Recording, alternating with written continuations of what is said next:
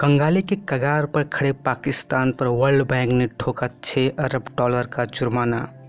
पाकिस्तान पर भारी मुसीबत, वर्ल्ड बैंक ट्रिब्यूनल ने लगाया 6 अरब डॉलर का फाइन। आप जानते होंगे दोस्तों, इसी महीने जुलाई में इंटरनेशनल मॉनेटरी फंड यानी आईएमएफ ने 6 बिलियन डॉलर्स का लोन पैकेज सैंक्शन किया था पाकिस्तान को कर्जे के रूप में। इसका मतलब यहाँ ये हो जाएगा, एक हाथ लिया और दूसरे हाथ दिया। वाली कहावत यहाँ सही बैठती है। आइए जानते हैं क्या है पूरा मामला और करते हैं एक केस स्टडी। वर्ल्ड बैंक के tribunal court, international centre for settlement of investment dispute ने बलूचिस्तान स्थित रेको डी खदान सौदे को रद्द करने पर पाकिस्तान पर पाँच अरब सत्तानवे करोड़ रुपए का जुर्माना ठोका है, जिसमें चार दशमलव आठ अरब डॉलर हर्जाना और एक दशमलव आठ सात अरब डॉलर का इंटरेस्ट यानी ब्याज शामिल है। यह हर्जाना पाकिस्तान को टेक यान कॉपर कंपनी को चुकाना होगा। गंभीर आर्थिक संकट से जूझ रहे पाकिस्तान के लिए एक बड़ा झटका माना जा रहा है दोस्तों।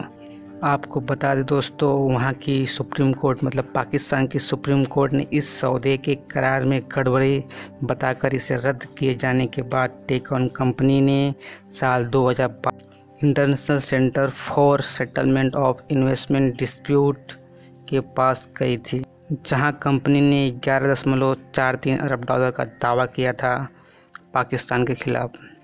2017 में ट्रिब्यूनल ने टेकन कंपनी के पक्ष को सही करार दिया था दोस्तों, लेकिन उस टाइम फाइन की जो राशि थी हर जाने की राशि थी, तय नहीं की गई थी।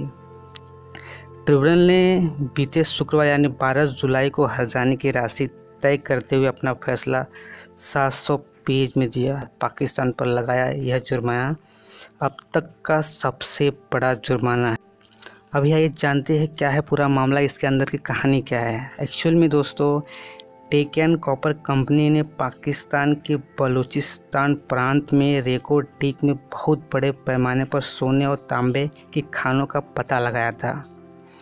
कंपनी का कहना है कि वह इस इलाके में करीब बाईस करोड़ डॉलर कर चुकी थी, लेकिन अचानक 2011 में पाकिस्तान सरकार ने उसके खनन के लिए पट्टे को देने से मना कर दिया। इसके खिलाफ उसकी अपील सुप्रीम कोर्ट ने भी रद्द कर दी। वहीं दूसरी ओर मीडिया रिपोर्ट्स के मुताबिक टेक यान कंपनी के चेयरमैन विलियम हेस ने अपने बयान में कहा, उन्होंने भी अपने कानूनी विकल्प अभी खुले रखे हैं मतलब झुकने वाले नहीं है। साथ ही पाकिस्तान के साथ बातचीत का रास्ता भी खुला हुआ है।